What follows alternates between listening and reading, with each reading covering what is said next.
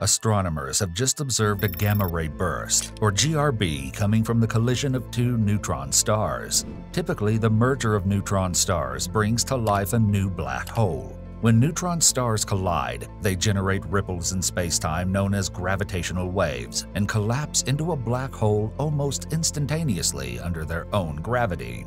But this time, scientists witnessed something different when the neutron stars crashed into each other in a kilonova fashion. Instead of a black hole, they created a bigger neutron star, a proto-magnetar more specifically, that powered a hot nebula rapidly expanding from the merger source. These super-dense stars are about the size of Manhattan, but are as massive as our Sun. The kilonova produced a short gamma ray burst, which taught us that GRBs don't always come from the birth of a black hole. The source of the GRB is called GRB 180618A and is located in the outskirts of a galaxy about 5 billion light years away from Earth. When scientists observed the short duration GRB, they immediately noticed rapid bursts of other emissions that faded out pretty fast. GRBs are the most energetic forms of light that typically last anywhere from a few milliseconds to several minutes.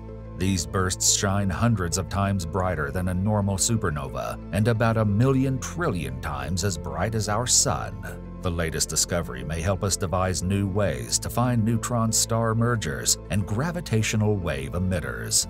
The power source that gives a GRB its super powerful energy has been a matter of debate among scientists that are split between two theories. The first theory suggests that when the neutron stars merge, they form a massive neutron star that immediately collapses into a black hole in a fraction of a second. The other theory says the merger of neutron stars would bring us a less heavy neutron star that lives longer. One possible scenario is that the leftover magnetar was spinning so fast and with such immense magnetic fields that its collapse was delayed. More surprising was the length of the afterglow. After a short GRB, an optical light afterglow follows. Such afterglows usually take days or weeks to fade away, but in the latest observation, scientists witnessed an afterglow that lasted only 35 minutes before disappearing.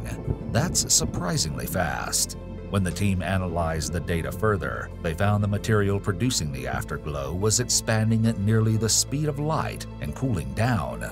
After analyzing the data, astronomers found that the leftover magnetar was pushing the material from behind.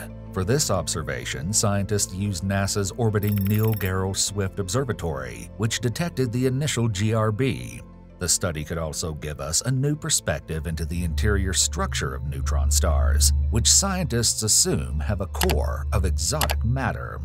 If you like this video, please consider subscribing and click the notification bell so you do not miss any upcoming videos.